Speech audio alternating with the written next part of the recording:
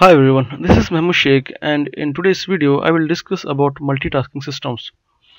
So these multitasking systems are also called as time sharing systems. So here as you can see I have listed down some points and we will see each and every of these points to understand what is multitasking systems. Now the first point says multitasking systems allows user to perform more than one task at a time. Okay, so in multitasking system processor can execute more than one task at a time. So now so in this point it's saying that processor can execute more than one process at the same time. But that doesn't mean simultaneously processor is executing more than one task. The speed of the processor is so fast that it can easily make a context switch between two processes.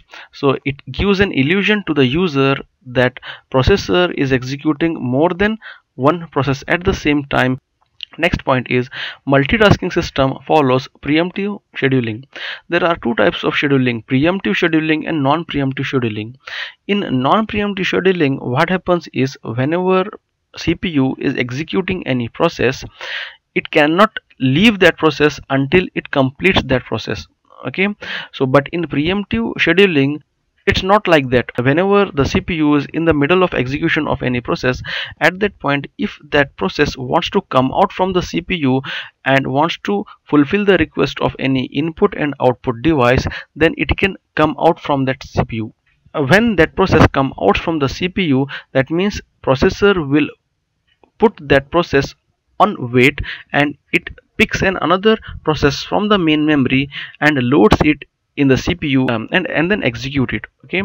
Uh, next point is here equal span of time will be allotted to all the processes for execution. In multitasking system an equal span of time will be allotted to various processes and each and every process has to execute itself inside the CPU only for that specific time okay next point is when an executing process current time slice runs out the process enters into wait state and now the cpu picks up the next process from the main memory. Okay so as i have told you that each and every process gets an equal span of time once the current time slice for that process runs out then that process has to come out from the CPU and then that process enters into wait state. And now the CPU will pick the next process from the main memory to execute Next point is CPU makes context switching between multiple processes so quickly that it gives an illusion to the user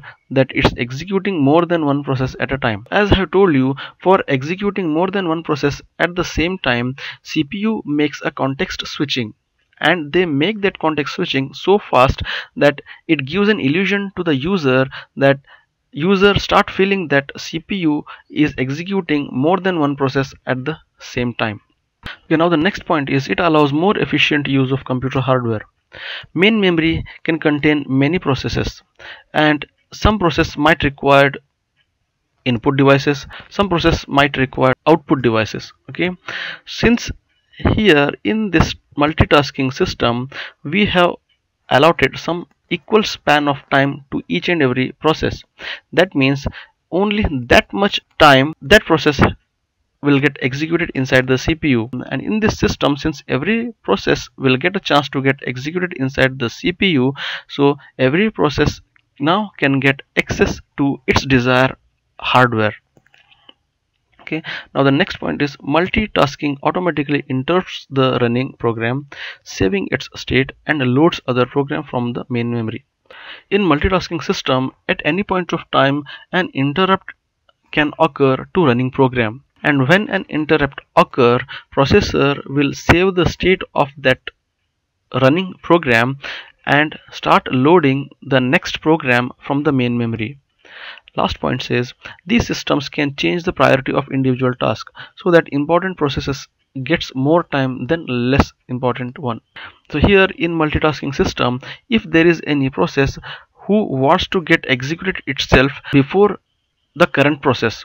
So in that case multitasking system will prioritize that process and send that process inside the CPU so that it gets executed earlierly okay because it has the higher priority.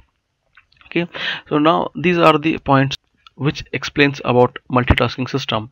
Okay so i hope you understood each and every of this point and now we'll see about the advantages of multitasking or time sharing system okay now the first advantage is its effective sharing and utilization of computer resources.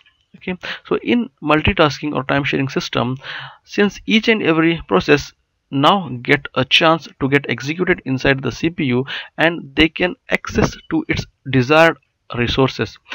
So in this case we are effectively sharing and we are effectively utilizing each and every resources next point process waiting time reduces. In multitasking system no process has to wait for a longer period of time. Suppose if there are three processes in the main memory and if the CPU is busy in executing only first process then process 2 and process 3 has to wait for a longer period of time. But in this system since an equal amount of time is allotted to each and every process then in this case CPU has to execute each and every process only for that span of time. So in this case each and every process will get a chance to get executed inside the CPU which reduces the waiting time for each and every process. Next point CPU idle time is reduced. Okay so now since there will be many processes present inside the main memory uh, that's why every time there will be some processes present inside the main memory for the CPU to execute. So there will be very less CPU idle time. Next assign priority to important jobs okay? So in multitasking or time sharing system we have the concept of assigning the priority to certain process. If there is a case that there is one process whose priority is high and that process needs to execute first uh, then multitasking system can set the priority to that process and this system will send that process inside the CPU before the less priority jobs. And the last point is can handle multiple users okay? So these multitasking systems or time sharing systems are capable enough in handling multiple users at the same time okay? So these uh, this is everything about multitasking systems and the advantages of multitasking system. So i hope you understood each and every point of multitasking systems uh, and how multitasking system works okay? So that's all for this video guys i hope you like this video. I hope you got some useful and valuable information out of this video. If you like this video click on like button share it with your friends and don't forget to subscribe to our channel. And thanks for watching